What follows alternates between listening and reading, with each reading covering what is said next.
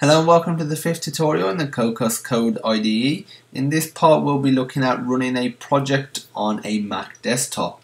This tutorial assumes you have set up and generated a project. To run it on a Mac you will obviously be running the Cocos Code IDE on Mac. You can't be doing this on Windows at all. So let's go ahead and open up our Cocos Code IDE. So just let it open up. Okay, so now that our project is, I mean our Cocos Code IDE is open, we've got a project generated right here. So first of all, what we need to do is go to this icon here, which is debug configurations, and in here we're able to select our project, which is we've only got one there, Cocos.js game, and then you can select how you want to run it. So for this tutorial, we click Mac OS X.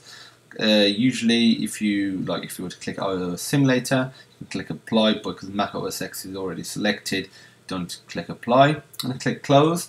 And there's two ways to debug it. There's this way which is Mac debug and it supports breakpoint but it has lower performance.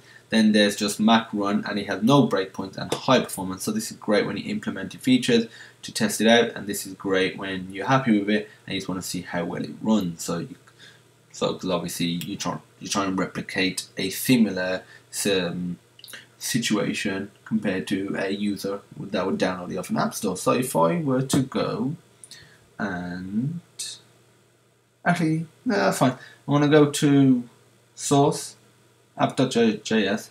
It's going to add a breakpoint. So to add a breakpoint, just double click here, or just right click and toggle between breakpoints. Or Oh, yeah. The reason it didn't let, let me edit there because that was a comment. So if I just like double click here, you'll add it there. And if I click this icon, you'll run the project and this pops up confirm perspective switch now it's just going to switch to the debug mode.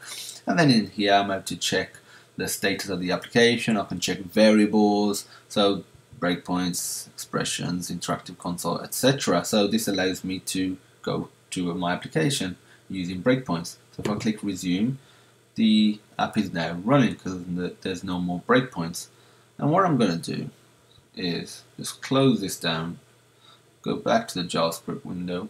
I want to click this one this time. As you can see, the breakpoint is still there. So I click Mac Run, and it runs fine because we're not checking for breakpoints.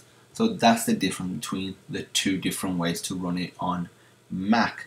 Okay, so the next tutorial we'll cover running your project on Android. If you have any questions, feel free to message us at support at sonarsystems.co.uk. The email will be in the description. You can comment on this video or just directly message us via YouTube. And as usual, thank you for watching and I hope you have a great day.